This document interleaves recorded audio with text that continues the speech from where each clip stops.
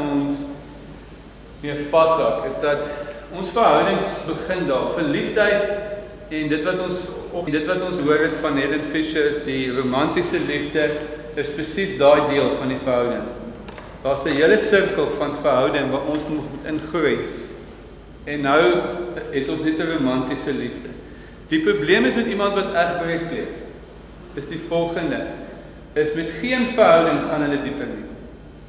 Die oomblik as die verhouding nou in die verliefdheidsfase ingaan en dit raak 'n magstryd, soek hulle die volgende een om 'n lekker gevoel mee te hê. En ons en nou hier's die hartseer, ons groei nie as mens nie.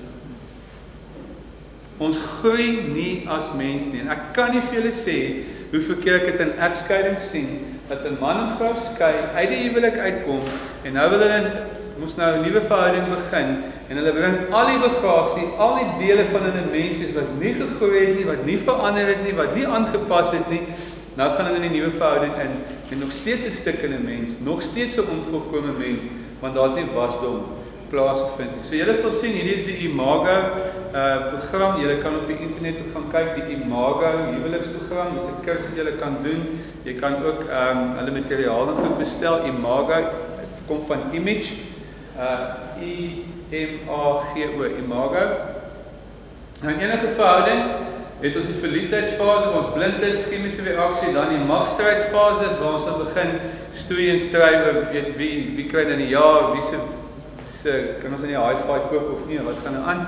En ons en ons stoei nou wat gebeur in die in die in die magstrydfase is dat die meeste van ons haak daar vas en omdat ons nie genoeg konflikhantering tegnieke ken nie. Hoor gou vir my, baie klinies. Ons sê dis ja, ons kan nie beklei nie. Die punt is jy's net bang vir dit wat jy nie kan hanteer nie. Jy's net bang vir slang omdat jy nie weet hoe om met hom te werk nie. As jy vir 'n slang temmer gaan kursus gaan en hy leer hoe om met 'n slang te werk, sê jy met 'n slang moet werk. Ons is net bang vir konflik omdat ons nie konflik uh tegnieke en skills het om dit regtig te hanteer nie. En ons moet werklik hier aan werk. Is oefening wat jy moet doen is nog 'n kursus wat jy op moet gaan om daai skills te kry hoe om sinvol deur 'n konfliksituasie te stry en te aanvaar dat 'n konflik nie negatief nie. Konflik is is is bedoel om positief te wees want dit is groei. Hier's hier's twee perspektiewe, hier's twee verskillende maniere van kyk en as ons reg deur hierdie konflik kan werk, kan ons groei beleef. En dis dan wat ons in die oorlewingsproses gaan en nou wat baie keer gebeur gebeur hier in die oorlewingsproses is mense letterlik hulle oorleef net in twee parallelle huwelike. Met ander woorde, hulle ander woorde, vir my nou konflik, ons wil nou nie meer beklei nie, so die man lewe lewe, die vrou lewe lewe en hulle deel nie meer nie. En weet jy wat? Die verhouding gaan nooit verder. Gaan nooit verder as dit nie. So wat nou gebeur as ons sê maar ons ons wil nie net oorleef nie, daar's nou hierdie oorlewingsfase. Kom ons by 'n keuse, dis hier waar ons of skei of bly. As ons die keuse maak, maak ons 'n nuwe verbintenis. Dit gebeur 'n paar keer in 'n verhouding. Hierdie sirkel paar keer vir ehm Point net paar mense. Dit gebeur 'n paar keer dat ons dat ons weer 'n verbintenis maak. Elke keer as ons 'n nuwe verbintenis maak, is daar 'n nuwe bewuswording. En dis baie interessant. Dis iets wat met alle verhoudings gebeur.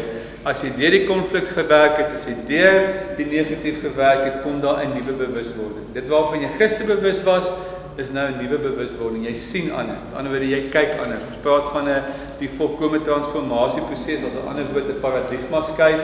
Met ander woorde, is 'n regtig 'n ander manier van kyk, 'n ander manier van sien en dit gebeur in jou in jou onderbewussyn En daai bewuswording lei tot transformasie wat lei tot 'n volwasse verhouding. Nou kan jy sien dat as ons uit verliefdheid is net die vuur wat die energie in gang sit. Dis hoekom God ons so gemaak het. Maar daar's 'n klomp fases en vlakke waarin ons moet groei om as mense te verander in God se beeld.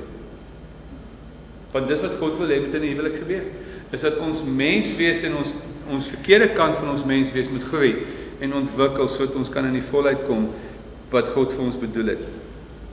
Dit bring mee dat ons uit die aard van die saak en ek is nog steeds by voorkoming dat ons moet praat oor ons woede. Ons aggressie. Wie van julle weet dat dit is nogal iets wat 'n verhouding kan doodmaak? Is woede. Ek is ontstel, ek is ongelukkig, ek is kwaad. Nou wat interessant is, is Gottman is 'n sielkundige wat sy hele lewe gespandeer het om video's te neem van huwelikspare. Hy neem hulle op en dan neem hy wetenskaplike toetse van hoeveel sweet op die handpalms, die hartklop wat lig, ehm um, gesigsuitdrukking, gebare en dis meer en hy het weet en hoplik kan hy bewys, hy kan vir jou binne 10 minute kan hy enige man en vrou videotape en hy sal vir jou binne 10 minute sê of hierdie huwelik watter kans het hierdie huwelik.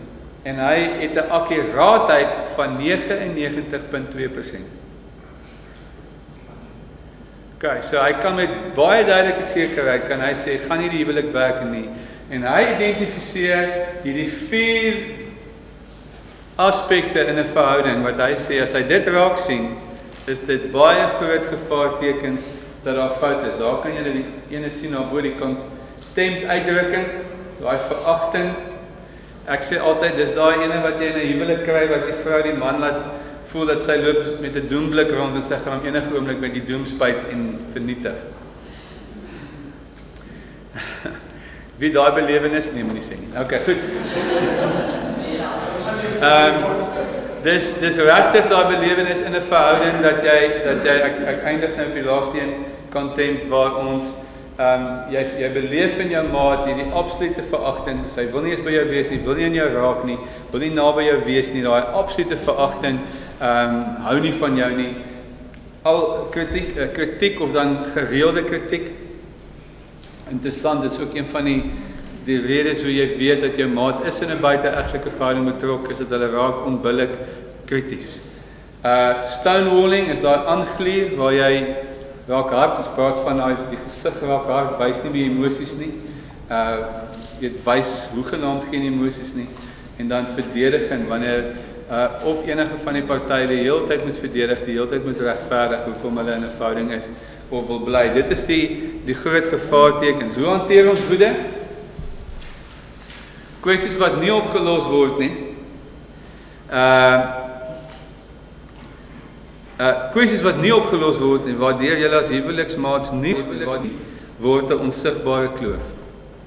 Ek kan nie dit meer onderstreep en dat jy dit meer hoor en verstaan is dat dit wat jy nie mee deel nie groei.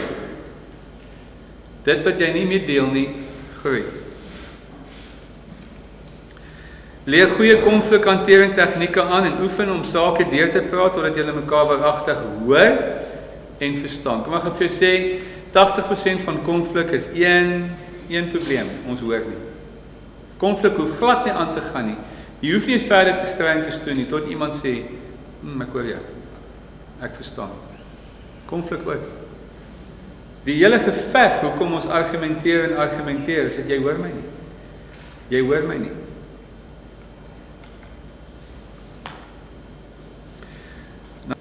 Eers altyd jou hart na die Here en dan jou maat. Dit wat Chantal gedoen het is dat sy sy het gesê Here, U hoor my nie. En as my man my nie hoor nie, word ek baie kwaad, maar toe sy dit in die Here gaan vind, sy het eers hierdie saak met die Here gaan uitwerk en toe die Here vir oplossing te gee. En toe sy vanuit haar verhouding met die Here na die verhouding toe gegaan en dit is 'n beginsel van hoe ons dit doen en dan vergenoegdheid is alleenlik in die Here. Hanlie sê dit baie mooi, God is our only constant. Julle as ons vergenoegdheid in 'n mens soek, gaan jy diep teleurgestel raak. As jy vergenoegdheid in 'n huis of in 'n met kinders en geld en so voort soek, jy gaan dit binne is alles goed wat kan weggevat word. Vergenoegdheid kan jy alleenlik eers in die Here kry en dan kom maak hy jou vol met al die ekstra's. Amen. Kom ons stop daar.